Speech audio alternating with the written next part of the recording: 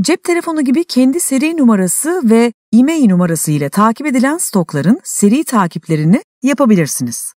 Stok kontrol üst menüsünden stok kartı sayfasını açın. Stoğa ait bilgi girişlerini yaparken detay sekmesinde bulunan seri no 1 parametresini de işaretleyin.